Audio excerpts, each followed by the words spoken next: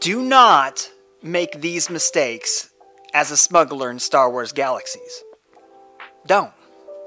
And if you're already making them, just just stop. Smuggler. Today, myself and Vulture from V the Legend YouTube channel are going to be giving you three what not to do's for the smuggler profession. And make sure you stay to the end because we're going to be spotlighting somebody in the Star Wars Galaxies community that was voted on to be spotlighted.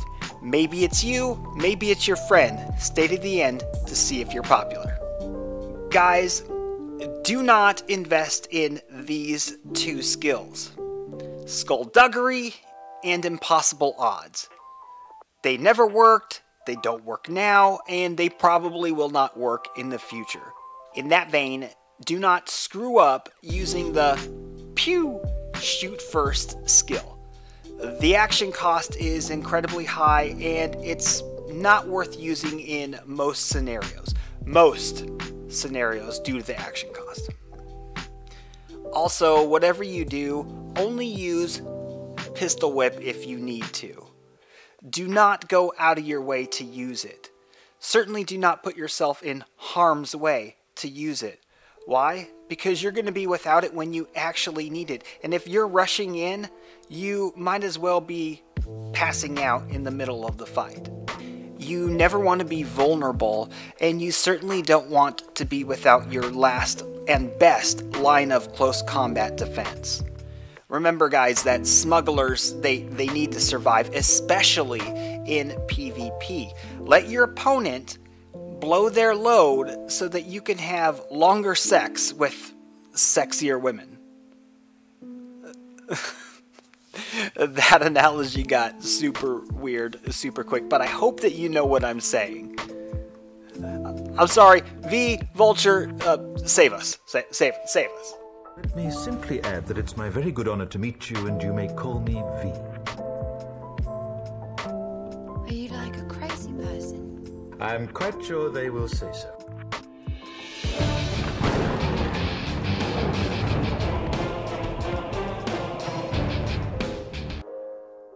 Thanks for having me. I'm V the Legend. Now for Smuggler. I recommend not to sleep on getting the Master Underworld Smuggler missions completed. PvE, PvP, space missions, driving endlessly because you aren't allowed to use shuttles and have to move under the radar, it can get very tedious. You have to go through five tiers, gaining underworld faction points by delivering bricks of cocaine to different locations in the galaxy. The good part is there's great rewards. As you go through the tiers, you gain permanent bonuses to your innate armor protections, permanent range increases, which is very helpful because pistols have a short range, illegal pistol mods that increase your damage significantly, and the Master Underworld Smuggler title for your accomplishment.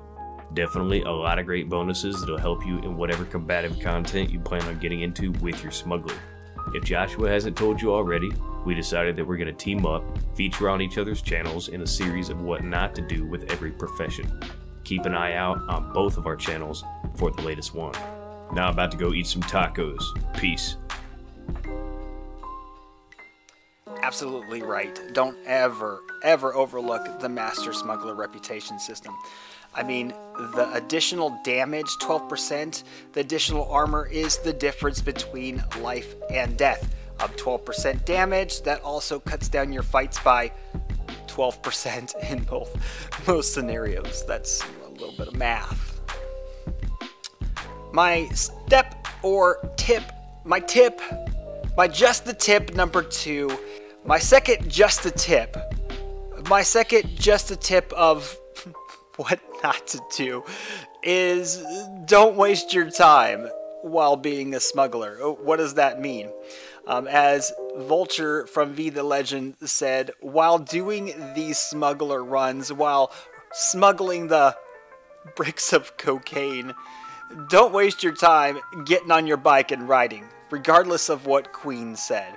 I know that Tatooine's a beautiful.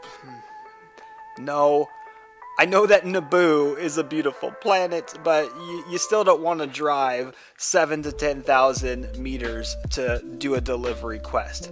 Instead, what you do want to do is make sure that you're in a group. So, you can do a call for pickup. If you're in a group of other people or, you know, your alternate character on another computer or your secondary application. Uh, once you find out where your delivery mission is going to be, have the group leader take a shuttle, immediately head on over there. Once he gets to that shuttle, do a call for pickup. You accept the call for pickup, and boom, there you are. Instead of taking 10 to 15 minutes, driving across the desert sands of Tatooine, running over womp rats, no, you're going to be there. And you can get to uh, rank 3 in about 25 minutes, which that sounds pretty good to me. I can hear you asking right now, Joshua, are you condoning exploiting? Uh, first of all, everybody's been doing this since live. I've been doing this since live. I've been doing this since right now. It is everywhere on the internet. I'm not reinventing the wheel. And even if it was an exploit and it's been around for this long, well, if you're not cheating, you're not trying. All right, we asked, you nominated, and everyone voted we're spotlighting a player in the Star Wars Galaxies Legends community, and this week's winner is Nicoline. Nicoline started on Legends in February 2017. She, yes, she uh, mainly plays entertainer, but she has copious amounts of other characters. A veteran of Star Wars Galaxies, Nicoline started playing Star Wars Galaxies in 2005 on Sunrunner. She considers herself an entertainer tailor first and combat profession second. She has characters named Serica Celia, I believe I got that right, Alicia, Snorkel, and Circleline. Yeah, Nicoline created Dangbang on Talus outside of Dearic in May 12th of 2017 and has been a mayor ever since. The main reason why she was nominated by the Star Wars Galaxies Legends community was for her commitment to helping and her kind personality in the cantina. Hmm. Nikolai plays entertainer, and in her words, she says that she likes helping out the community, she likes being social with other entertainers, and she loves to decorate and has decorated a lot of the houses in Dangbang. She also has a tailor, a structures trader, a bounty hunter, and a light side Jedi. If you want to visit her shop, make sure you go to 431 minus 4277 on Talus, and make sure you check out the Guild Hall for a testimony of her designing skills. If you'd like to nominate someone, please do so in the comments section. It would also help to say why you're nominating them. As V mentioned, he and I are doing a series of videos just like this. One, what not to do for each profession. The first was a bounty hunter, what not to do, and that was dropped on his channel, V the Legend. So make sure to check out both of our channels for more incredible Star Wars Galaxies content. Like I said, we're going to go through each profession. If you like the video, like the video, and we would be honored if you would join us by hitting subscribe. I mean, why not? We have a ton of Star Wars Galaxies content and continue to do so several times a week. Until the next video, I am Joshua with Weird Gaming Adventure, and we at Weird Gaming Adventure love you in a weird way. Take care.